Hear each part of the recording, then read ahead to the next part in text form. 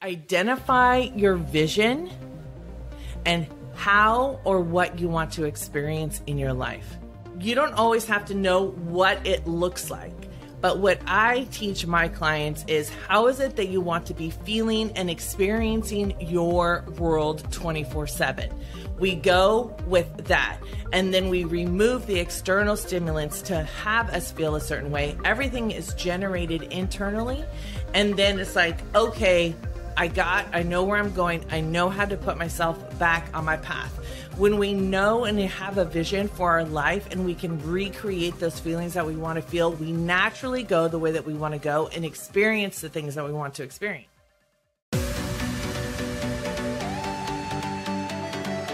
Hello, beautiful people. Yes, I am talking to you. Are you ready to feel confident AF, free from the expectations and opinions of others, and create ultimate self trust in who you are, what you say, and how you show up in every part of your life? If you answered a hell yes, I am, I guarantee this episode will empower you to be 100% yourself 100% of the time, no shame or guilt needed.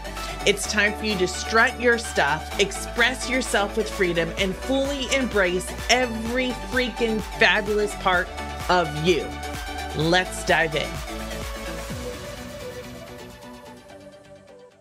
Hello, my beautiful friends, and welcome to another episode of Road to Radical Visibility. My name is Rachel Freemon Sowers, also known as the Break Free Bitch, because I am passionate about helping people free themselves from toxic social constructs, opinions, and beliefs that have been holding them back from being 100% themselves 100% of the time, no shame or guilt needed. And I am so excited to dive into this episode with you. It came about because I was actually messaged through WhatsApp while I was on the spin bike, and a woman said to me, Rachel, life has been derailing me, and I don't know how to get back on track. And I hear this a lot from my clients, and actually, it has happened to me quite a bit in the past. So, today I'm going to give you five ways in which you can get back on your path, know what your path is, and be able to stay in your truth no matter what is happening externally around you. Now, I did a video about this on my Facebook page. You can go check it out, Rachel Freemon Sowers. And I asked all of you, what are the things that derail you the most? So, life is pretty general. It can be personal or professional, right? It is when we are trained to react to the things that are happening externally because we are meant and I believe we are truly trained to stay in this fear of never being enough, of not being confident enough, of not being something enough, right? And so we get indoctrinated into this belief system by several different types of social constructs. We have just societal constructs, we have religious constructs, we have political constructs. I mean, like there's layers upon layers upon layers. And I want you to know that if you're struggling, what happens is that when we get derailed, we repeat the same pattern over and over and over again. And if you are struggling with repeating the same pattern that you do not want to repeat anymore over and over and over again, then this episode is for you.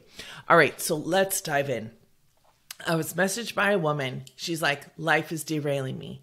I heard her voice begin to tremble and she started crying, and my heart went out to her and the connection I have with this woman is quite incredible. When we first met together, um, there were some really magical things that happened between us energetically and with my guides and with people who she has had in her life. The other thing that people say derails them, there's some things, let me read them over here, is letting other people's words or actions get to me. So, also, this can be do you often feel someone else's energy and you take on that energy or you take responsibility for how they're feeling. I had another woman just yesterday say, This person, like, I'm making them feel this way. My friend, you do not make people feel a certain way. Now, I'm not talking about absolutes here, but the majority of the time, what someone says or does triggers a reaction within you from something that you have already experienced. And the body says, hold up, danger, danger, Will Robinson. We need to keep ourselves safe, right? So when we are around other people that have this energy and we just automatically um, have that energy come in, or they their actions get to you. Now this is something that's in combination with another thing that um, a woman told me. She said the discomfort with the unknown. Um, oh, allowing injustices to affect my faith and trust in unknown outcomes. So, letting other people's words or actions get to you is one thing. It's like, how could they do that? Why are they doing that? That's so that's so whatever you want to say, right? And those are judgments. And then we do it to ourselves, right? We learn to do these two things to ourselves. Like, why did I do that? I should have never done that. Why am I acting like this? This is such a bad way to act. Then we go into allowing injustices affect to affect my faith. This has been one that I've been working on for several years. And what happens is is that the I see an injustice and it's like I want to rush in and fix it. And then I wonder is anything just what is happening in the world? This has been highly um, felt through all this political stuff that just keeps it, um, getting jacked up with more energy and more energy. So letting other people's words or actions get to you, allowing injustices to affect my faith and trust in unknown outcomes. I had a client say to me, she's like, I don't know. I don't know what's going to happen. And she struggles with wanting to control everything. The need to control comes from fear. And so the discomfort of the unknown is like, I don't know who I am if this happens. I don't know what I'm going to do if this happens. Who am I going to be? What does this mean about me? And we take on things really personally when the majority of the time it has nothing to do with you, right? So being able to witness injustices and how do we allow ourselves to give some healing energy, empathetic energy, whatever we need so that we don't it doesn't destroy our faith in the goodness that is in this world because I can guarantee you there's goodness in this world. And when you show up 100% yourself, 100% of the time, no shame or guilt needed, that adds to the goodness of this world. Just FYI. And then I had another woman say, It's thinking that it's my problem. I did this to myself. I brought on this abuse. This happens a lot um, with abuse survivors. And when we survive something, our brains, especially at a younger age, our brains don't know how to deal with it. So we take it on as ours. And she's like, I've done this to myself. This is my life. This is what I've done. This is another example of taking over responsibility for something that was never your responsibility to own. And we take this on so we can feel like we can control it, so that we don't get derailed, right? Because if we feel something, it feels maybe we are out of control, it's too vulnerable. All right, so you're probably asking, Rachel, what do I do about this? Like, what are the ways that I can stay, discover, first of all, discover my path and make sure I know what my path is, and then own my truth and stay on this path for my truth? All right, here are the five things. Number one, is identify your vision and how or what you want to experience in your life. When we don't know where we're going, when we don't know what we want, it is really hard to have a direction. Now, you don't always have to know what it looks like. But what I teach my clients is how is it that you want to be feeling and experiencing your world 24 7? We go with that. And then we remove the external stimulants to have us feel a certain way. Everything is generated internally. And then it's like, okay, I got, I know where I'm going. I know how to put myself back on my path. When we know and have a vision for our life and we can recreate those feelings that we want to feel, we naturally go the way that we want to go and experience the things that we want to experience. So the first thing is to identify your vision for how you want to experience life. If you're not sure or if you've had goals and you haven't been able to reach those goals, I'm going to encourage you to check out the link at the in the comments of this episode about the new You True Vision Board event. This event is something that will help you gain that direction. It will help you identify your path. We're going to use neuroscience, music, movement, and a whole bunch of powerful collective energy to get you back on your path and allow you to stay there so you can experience life the way you want. Side note. All right, so number one is identify your vision and how you want to experience life. Number two is be selective with your input. So many times we are listening to all the things, we are watching all the things, and we zone out and we don't really realize that that stuff still goes into the subconscious. Just because you're not totally tuned into something doesn't mean it doesn't enter the mind. So, this is where we have to be super intentional and selective. Who are we hanging out with? What kind of music are we listening to? What are we watching on TV? Who and when we are spending time with ourselves, what are we doing? Are we doing things that nurture ourselves? Be selective with your input. Now, sometimes this can seem really hard because we have been in patterned ways of being where we hang out with certain people. And then when we don't really want to, we can feel like I'm going to feel bad because they're going to think I don't want to hang out with them anymore or I don't want to really be speaking to them right now. All of these things come up. We enter into a spiral of shame and guilt and automatically go back into the old pattern. And then we're like, why am I here again? So if this stuff comes up for you, I want you to know that your life is dependent on what you input into it. How you experience your life is what is a result of what the input is. So, when you feel like you're going to make someone feel a certain way, I want to encourage you that that is not the case. You will not make them feel a certain way. If you say no to something, their reaction is their responsibility. Let me say it again. Their reaction is their responsibility. Okay? So, selective with your input. Number three is to ignite your imagination and play with possibility.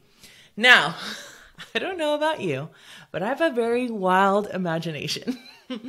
it thinks of the most wonderful things, and it can also, when I was younger, think of the most scary of things, right? And sometimes we've been taught your don't let your imagination run away with you. What are you doing daydreaming? And I think right now we have really lost a capacity because of fear and everything that's happening in the world and how we react to it, we've lost the gift of imagination. You all know that I use visualization with my clients. It is a number one way that my clients get the fastest progress and allow themselves to make sustainable changes in the world that they want and in their life. And so, Visualization is huge with imagination. Plus, I have ADD. I'm a visual person. It works for me all the time. And this is how I have gotten to the place where I am today. So, when we allow our imagination and we allow ourselves to dream and to say, This is what I want to experience, what if I was able to have a sense of confidence 24 7? What would that look like? I was talking with a client. She's like, I don't know what it would be look like for me to be authentic and confident in a social interaction. So we started playing with it with imagination. She's a very cognitive person. She uses her mind to try and control. You're not going to control things with your like with your mind like that. There's a mind body connection that happens and that allows you to then move into this space that you want to be feeling. Often people say, Rachel, you're so confident all the time. I didn't get here because I just was like, oh, I want to be confident. I don't know how. I had to take risks. I had to learn to trust myself. I have this ultimate self trust about this is how I want to be interacting in the world. This is this way of being causes this feeling. Therefore, I'm experiencing my life the way that I want to. Let me know if this is making sense. So, you ignite your imagination. And what could your life be like if you experienced it? So, this is another way the True You Vision Board is really helpful. I have right now, as I look over, I have one, two vision boards, and I have a third one in the hallway. That's physical and health and wellness. And this one is business, and this one is a spiritual one for me. So, it every time I see this vision board, it ignites this imagination. It ignites the feeling that I want to be having. And I say, what is my life going to look like when I am thriving in my life? What does that mean I get to experience? Where is it going in my business? What does that mean in my spiritual life, right? So these are the ways that it can help, but it's igniting your imagination and playing with possibility. Okay, that's number three. Number four is create an awareness of when you feel the way that you want to be feeling. Okay, so how many times have you known how you don't want to feel? You've experienced something in life or you're in an environment and you're like, I am not liking this. I do not want to feel this way. I do not want to feel like I'm being taken advantage of. I do not want to feel resentment. I do not want to feel like someone is demeaning me. I do not want to feel those things. And oftentimes we say that thing, that person is making me feel this. Mm-mm. No, no, my friend. No, that person is not making you feel a certain way. That person is having an action which is triggering something for you internally. Right? And oftentimes I'll ask my clients, What do you want? And they're like, Okay, well, Rachel, I don't want to feel like I'm always like I'm not present in my own life. I don't want to feel like life is passing me by. And then I ask them again, What do you want? Oh, well, I don't I don't want to miss out on my life. What do you want? Take a moment right now. I'm going to ask you, what do you want to experience in your life? I want to experience being present. I want to experience what it feels like when I'm with my children and my heart is so full and open. I want to experience when I'm doing my job, my profession, or in my business, this is how I want to experience it. For me, it's heart full open. For me, it's connected. For me, I want to feel like I am building a deeper relationship with the people I work with. The people I work with aren't just my clients, they are an integral part of my life. My joy and purpose and my great blessing to help guide these people to being 100% themselves 100% of the time, no shame or guilt needed, is freaking effing fabulous. And I want to feel excitement and I want to feel passion and I want to feel relationship and in relation with the world as a whole as I do that. What is it that you want to feel? Okay, that's number four is to create an awareness of when you're feeling the way you want to be feeling. We know what it feels like when we don't. And remember, that's telling the reticular activation system to focus on that. When are the times you feel open? When are the times you are feeling joy? And soak that up and ramp that feeling up in your body. It's kind of like when Randy comes on to say yes to the dress. My dad and I used to watch that all the time together. I know it's weird. We also used to watch Naked and Afraid, but that's neither here nor there. He's like, let's jack this up. Let's jack this shit up. And he puts on the veil and he puts on the sparkly belt and it's like, bam. And the girl just starts crying. You don't have to cry. I cry tears of joy all the time. I, cry tears of gratitude. We want to elevate that feeling in the body. Once you feel the way that you want to feel, you can actually recreate recreate that over and over and over again. This is what helps you stop being derailed. This is what helps you remove this external stimulant that affects the way your internal self is feeling. All right, number 5 is be and do more of that. Okay. People will say to me, and my clients that I don't really have time to do more of what I love. Oh, friend, my beautiful friend, yes, you do. We have spent so much time in our life, and let me know in the comments if you have felt this going on this rat race, on this hamster wheel, doing the things that we don't really enjoy. Now, there's going to be some things that we don't enjoy.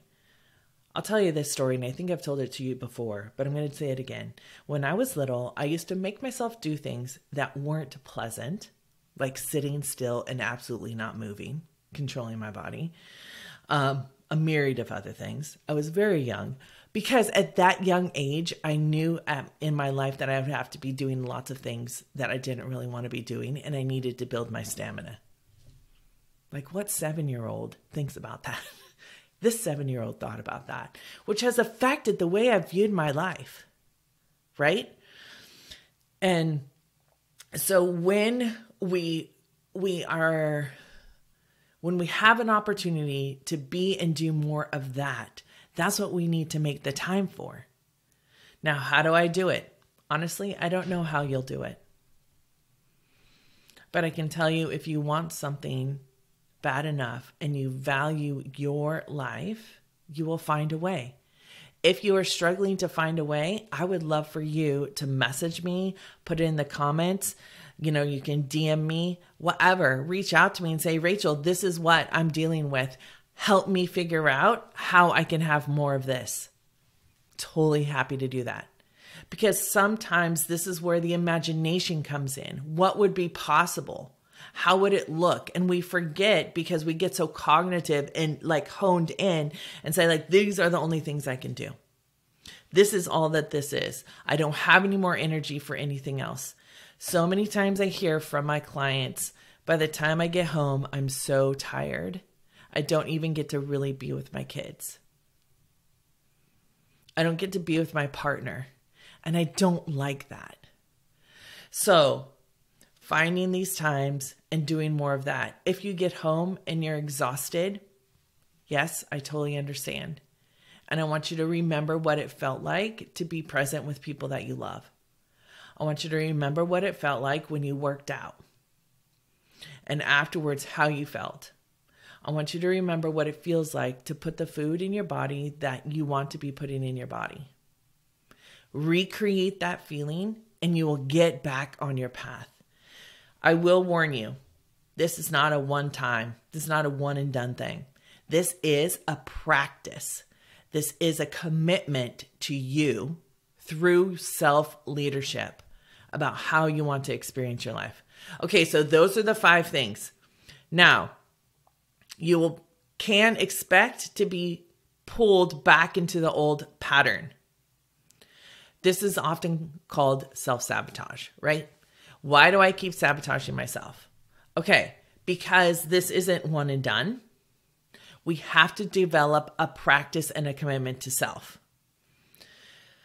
The other thing is is that um we often think like, oh, it was just a one time thing and I felt happy. Or we only acknowledge that the happiness of our life is this much and the and the suffering is this much. But what if we said, I am also controlling my happiness. I am also expanding. Maybe we just get rid of the word controlling. I'm also wanting to expand my happiness. And this is how I'm going to do that. Right? It's an intentional focus, an intentional redirection.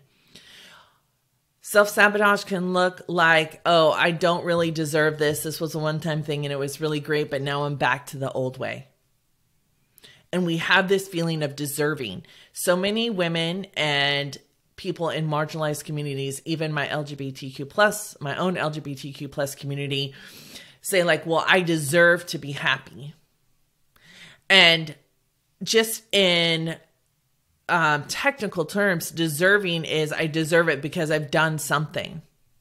The fact of the matter is, is that because you are here, because you are alive, because you are human, and you want happiness, you can have it.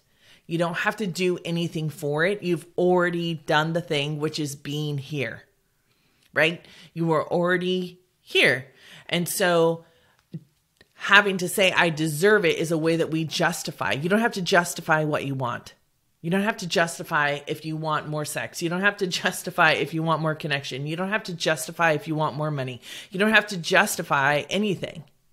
I want it because I want it, and that's full stop.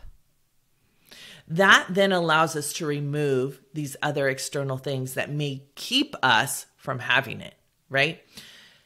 There's also a fear of this unknown and actually feeling the way that we want to feel. The body, your body has been trained to keep yourself safe. When you start shifting your belief system out of toxic social constructs and opinions and beliefs, when you start developing your own, it can feel really scary. And the body is like, hey, wait, we can't do this. We can't go there. Like, this is not what, this is not on the plan. and then we'll want to go back. This is the thing when people say one step forward, three steps back. I want to do three steps forward, recognizing I'm going to be pulled back into an old pattern, being able to identify that pattern when I'm being pulled back and say, no, thank you. I appreciate, body, that you want to go there, and yet we are safe to go to this new space. We are practicing this self leadership. So expect to feel derailed when you're trying to stay on your own path. Expect it to be there and have these skills available to you. The minute you start feeling derailed, start thinking about your vision, envisioning your vi- your vision in your mind, seeing it in your mind's eye, pulling up and restoring those feelings that you have when you see yourself in that space. Right? Okay. So that is a lot. Now, one last thing. in order for this to be sustainable, you need to create a deep safety in your mind and your body and your soul all together. And in order to create this deeper safety, we have to be honest with ourselves and remove the fear, shame, and judgment that we often feel when we notice we are not living our lives the way that we want to. This removal of the fear, the shame, the doubt, the guilt is essential for you to keep moving forward. It doesn't happen all at once. When you feel that fear and that shame and that doubt and that guilt come up, there are different ways for you to deal with that. And maybe that'll be another episode. But one really quick thing you can do is you can say, This is my life. This is how I want to live it. Because when I live my life, like this, it empowers other people to live their lives the way that they want to. This morning I was doing a Peloton ride. It was the Lizzo one. I'll put it in the comments below so you can, if you're on Peloton, I use the Peloton app. And um, it was all about when I shine bright, other people then have permission to come and shine their light with me. When I am full of self love and um, other people are then inspired to be and filled with their own self love and shine that, right? We, through our own ways of being, we um, gather other people with us and then they begin to do that exact same thing. And that is really what is helpful in making this world in a sustainable way of being and a shift for the better here. Okay, so there's so much beauty and truth and power within you. And my friend, I think it's time to access it. So if you're looking for a place to have a really good time, to focus on some goals and to actually be empowered and shift um, neurological connections in order to experience life the way that you want to, I want to encourage you to click on the link in the comments for the True You Vision Board event. The next one will be on March 21st. Also, I want to empower you that if you've been struggling and there is something within you saying, I no longer want to be experiencing my life, my life like this I no longer want to be in this place. There's more for me to do when I am being more, I am more present with the people that I love. When I am fully being myself, I am able to spread more joy, more love, and I am able, honestly, to just enjoy my life 1000% more. Then I'd love to have you look at the part of the 100% you experience, which is called Unleash 100% You. I'll put that in the link below too. Okay, my friends, I would love to hear your thoughts about this episode. I can't wait for you to listen and hear what really motivated you and how you will keep returning back to your path and your truth. Use these five things that I've given you to get yourself back on track so that you can experience your life exactly the way that you want to. All right, I'm going to end it here. I'll end this video like I end every single video. Please make sure to stay true to yourself, be kind to others, and always, always, always honor the wise one that is within you. Go and be 100%. Until next time, bye. Hold up, don't go yet. If this episode inspired you to be 100% yourself 100% of the time, no shame or guilt needed, even just that little bit more, I would love to hear from you in the comments below. I'm here and I know you are too to make a positive impact in the world. So don't forget to share the love. And if you were left wanting more of this type of kick ass content, then don't forget to click the like and subscribe button. Until next time, make sure to stay true and be you. Until then, bye.